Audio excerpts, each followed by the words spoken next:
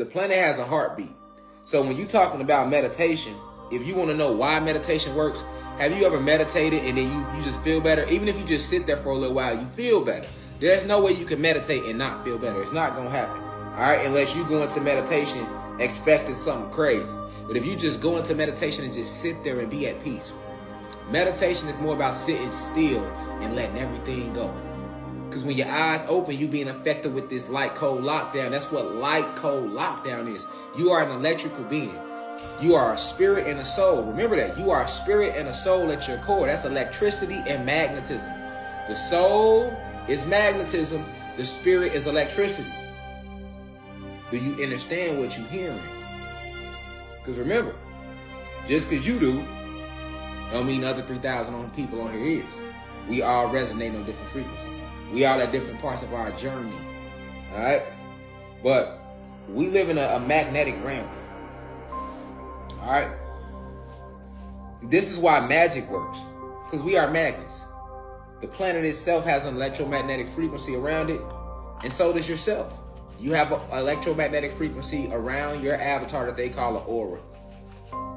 But we just not finding out about that. What they don't tell you is that the planet, how alive she is. They don't tell you that.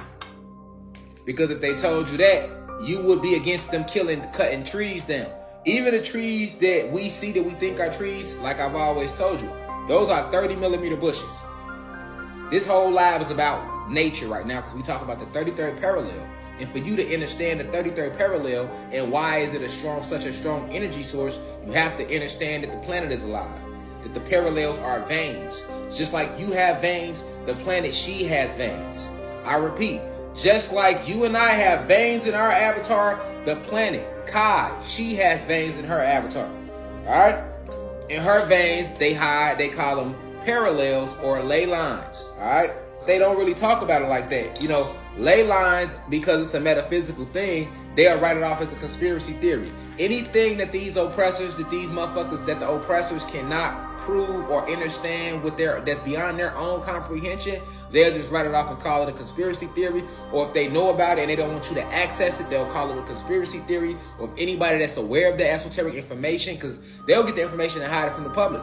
But they know that they can't stop you from going within and accessing the Akashic records that are inside of you. So if you do raise your frequency enough to a high enough level to go within yourself and access these Akashic records, they, they'll write you off as a conspiracy theorist. I mean, America with three Ks has a whole bunch of titles for free thinkers, all right? Individuals that are that are very, very tapped in with the frequencies of the planet around here. They have a lot of names for us, all right? Sometimes they call us healers. Sometimes they call us clairvoyant. Sometimes they call us crazy. Sometimes they call us the chosen ones. Sometimes they call us awoken ones. Sometimes they call us conspiracy theorists. Sometimes they call us an occult. Sometimes they call us witches and warlocks when really that's them. I mean, they got a lot of different slick terminology to hide the fact that the planet is alive from you. I mean, remember, they consider this voodoo right here, y'all, because it's a black god sitting right here in a meditative position. It's a it's a statue of a black god. But if it was Jesus sitting like that, shit, everybody love a nigga, wouldn't it? You see the priming. That's the priming I was talking about. This how they prime your ass. Now what's priming? Priming is when they put a bunch of visuals and audio and messages around you, but they do it subliminally. So you're not aware of it.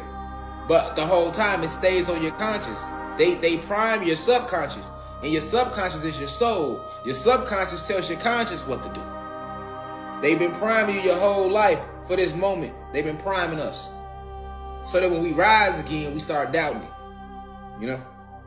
The form of priming you.